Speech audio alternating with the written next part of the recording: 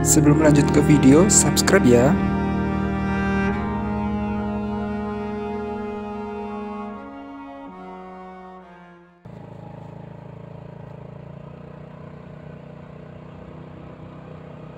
Halo, selamat datang di channel Anto Wahyu Atmojo. Oke teman-teman, gimana kabarnya hari ini? Semoga tetap diberikan kesehatan ya supaya kita bisa tetap jalan-jalan. Oke teman-teman, kalau pada video kemarin saya eh, mengeksplor atau melewati jalan Congot Purworejo ya. Nah, kali ini saya pengen melanjutkan trip saya nih. Jadi untuk kali ini saya mulai perjalanan saya uh, saya startnya dari sekitaran Taman Pandawa 5 ya atau Pendowo 5 yang ada di Jalan Nasional. Nah, saya itu pengen sekali menuju ke jalan yang sedang viral atau minggu-minggu kemarin itu sangat viral sekali ya yaitu jalan baru yang ada di Niten atau Popongan. Nah, jadi jalan ini adalah jalan uh, dari Niten uh, menuju ke Banyu Urip. Nah, jalanan ini yang awalnya sempit uh, sekarang sudah diperlebar dan diaspal mulus begitu. Jadi uh, jalan baru yang viral. uh, jalan baru tersebut itu berlokasi di Kecamatan Banyu Urip ya, teman-teman. Jadi saat ini kan Purworejo sedang ya gencar-gencarnya uh, membangun ya. Jadi infra, in, infrastrukturnya itu ditingkatkan terus dengan adanya bandara YIA, bandara baru itu eh, kota-kota uh, di sekitar bandara itu juga uh, ikut membangun begitu. Jadi supaya bisa uh, lebih maju lagi infrastrukturnya. Nah, uh, gimana keseruan perjalanan saya kali ini? Jangan skip-skip ya. Oke teman-teman, uh, perjalanan ini kita mulai dari Taman Pandawa 5. Uh, kita akan berjalan menuju ke arah uh, Kota Purworejo. Nah, uh, untuk perjalanan kali ini uh, jalanannya lumayan bagus ya. Tapi di ruas jalan atau mendekati bahu jalan atau di aspal yang sebelah pinggir yang sebelah kiri itu uh, bergelombang. Jadi uh, agak kurang friendly gitu buat kendaraan. Jadi uh, untuk motor khususnya untuk melaju itu dia harus agak sedikit ke, ke kanan yang nyari uh, aspal yang rata begitu. Nah uh, untuk lokasi jalan baru yang ada di Niten itu uh, nanti uh, patokannya yaitu kalau kita sudah melewati kios-kios atau warung-warung yang berjualan dawet ireng ya yaitu dawet khas Purworejo nah itu sudah mendekati nanti uh, jalannya itu akan ada di sebelah kiri ya. Jadi kalau dari arah Jogja itu akan belok ke kiri. Tapi kalau dari arah Purworejo itu nanti akan beloknya ke kanan.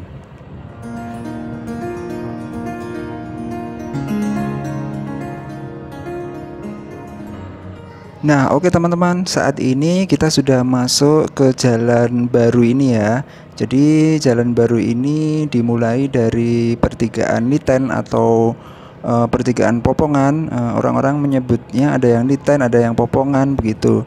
Uh, terus kita akan berjalan ke arah barat ya. Jadi kalau uh, dilihat di GPS ini arahnya adalah ke arah barat ke arah Banyu Urip begitu nah untuk kondisi jalannya ini sudah ada markanya sudah dikasih marka yang warna putih jadi sudah lengkap Terus kanan kirinya juga sudah ditanami pohon-pohon walaupun masih baru ya, jadi pohonnya belum uh, rindang begitu. Nah, perlu diketahui bahwa jalan baru ini mulai dikerjakan itu sekitar bulan Mei tahun 2021 kemarin. Jadi uh, ini kemungkinan baru saja selesai ya, karena masih aspalnya itu masih sangat hitam sekali. Oke teman-teman, saya akan menikmati jalanan mulus ini dulu ya. Silahkan menonton. Hehehe.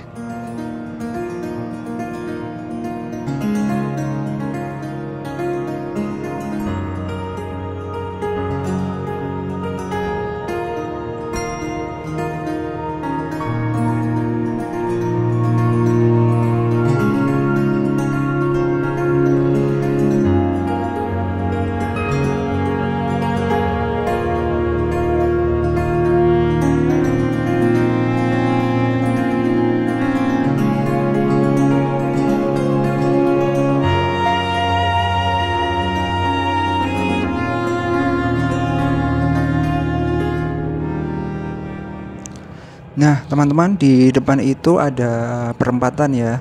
Jadi kalau ke arah kiri itu ke arah Wangunrejo atau ke pasar ini Sendang Sari. Uh, terus kalau ke arah kanan itu ke arah Tegalrejo atau bisa juga ke arah RSUD Citro Wardoyo. Uh, sedangkan kalau lurus itu ke arah Banyu Urip, uh, bisa juga ke arah Pasar Ngori atau ke arah BRI Banyu Urip. Nah, uh, sebelumnya perempatan ini sebelum jalan ini dibangun itu sangat sempit sekali ya, bahkan untuk atret mobil saja sangat kesusahan begitu. Tapi sekarang coba lihat ini uh, perempatannya itu sudah sangat luas dan sangat lega sekali begitu.